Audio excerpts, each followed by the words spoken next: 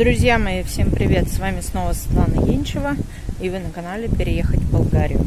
Ну что, после вчерашнего моего видео э, начались опять звонки, письма и смс, да, что же делать? Граница Болгарии закрыта для граждан Казахстана, для граждан США, для граждан Израиля. В общем, я думаю, что я этим видео никого, конечно, из этих стран не порадовала.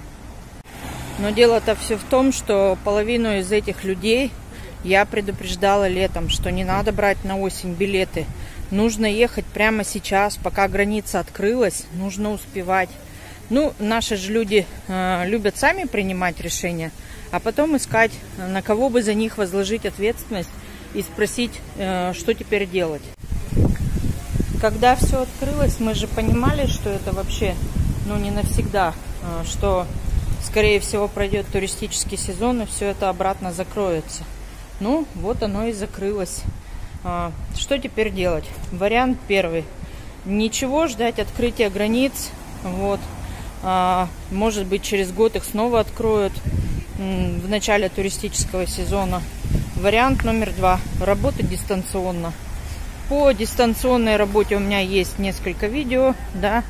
А, все, что мы можем, мы делаем для граждан любых стран, да, и для меня, в принципе, не важно, открыта граница, закрыта граница.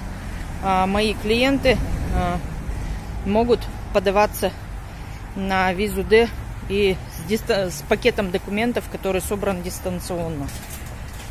Поэтому, друзья, а, пишите, звоните. А, все контакты даны внизу под моим видео. Всем пока!